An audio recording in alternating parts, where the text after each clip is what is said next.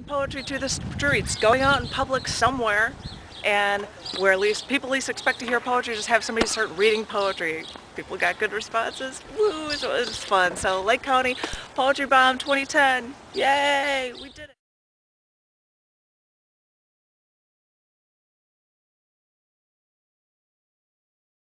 Doing, yeah, poetry in least expected places. This is a poem, Wow. closest thing to political, called The State of the Nation. My phone rang earlier today and I picked it up and I said, hello. And the man at the other end said, is this Janet Kuypers? And I said, yes it is. May I ask who's calling? And he said, yeah, hi, this is George Washington. I'm with Jefferson and a couple other of us guys. We just wanted to tell you some stuff. And I said, "Wh- wh- why me? And he said, excuse me. I believe I said I was the one that wanted to do the talking. God, that is a problem with Americans nowadays. They're so damn rude. And I said, you know, you really didn't have to use language like that. And he said, oh, I'm sorry. It's just that I've been dead for so long. I lose all control of my manners. Well, anyway, we, we just wanted to tell you some stuff. Now, I know that we didn't have much idea what we were doing when we were starting up this country here. I mean, we didn't have much experience in creating bodies of power, so I could understand how our Constitution would be misconstrued.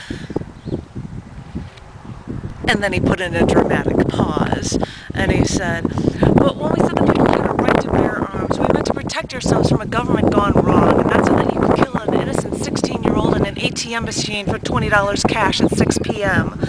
And when we said freedom of religion, we included the whole notion of the idea of the separation of church and state because freedom of religion could also mean freedom from religion.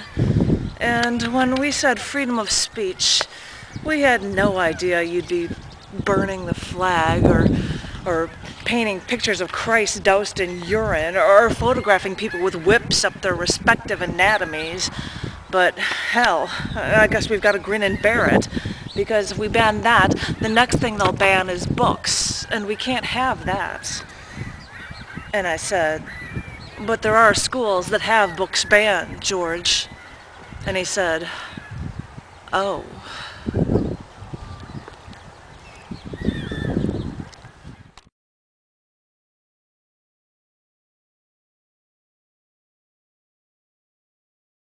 Yeah, people are going yay back at me when I was doing that.